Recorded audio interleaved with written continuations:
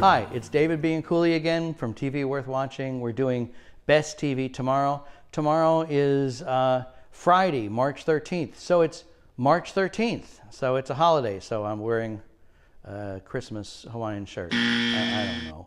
But uh, it's also something to celebrate. It's the last two episodes done as a sort of combined finale of Lincoln Rhyme Hunt for the Bone Collector, which is a show on which uh, my son's credited as co developer and uh, one of the executive producers.